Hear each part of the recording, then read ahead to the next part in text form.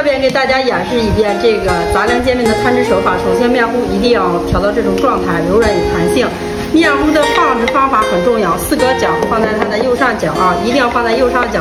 刮本给它刮下来，要快速的给它刮起来，不要在这停顿。然后刮的时候四十五度，不走重路。这个煎饼啊，刮的越薄，口感越好。刮好以后不要停，打上一颗鸡蛋，蛋黄敲碎，敲碎以后跟我们刚才摊的手法一样，从右上角，然后沿着这个锅边均匀的给它。摊上一圈，咱给它放上搭配的食材，葱、香、咸菜啊、香菜都可以。铲刀保持个平的给锅面，不停顿的往前走。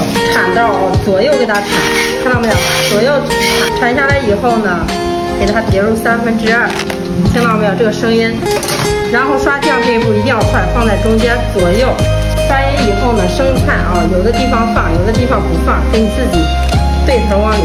这个薄脆根据自己地方啊，一片两。片都可以，我因为我这个薄脆是自己做的，成本很低，所以我一般都是放三片，这样扶着，给它往里卷两遍，看到没有？